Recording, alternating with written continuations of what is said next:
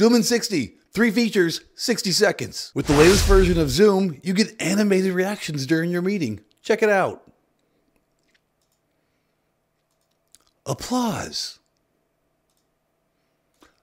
Thumbs up. Confetti. You get the point. When you're in a Zoom meeting, you now have additional timer settings. Go to your Settings tab, then General, then Show Meeting Timers. Once you've set that, you're going to have additional meeting timers inside of your meeting. Meeting duration, as well as time remaining. When you have five minutes or less, the timer turns yellow to warn you, you better wrap it up. You can now gain access to polls and quizzes right from the client itself without having to go to a web browser. Polls and quizzes on the bottom of your meetings menu bar. I can actually relaunch past quizzes, I can launch brand new quizzes, or I can create ones on the fly. Pretty neat. And if you liked the video, let me know. If you didn't like it, comment below.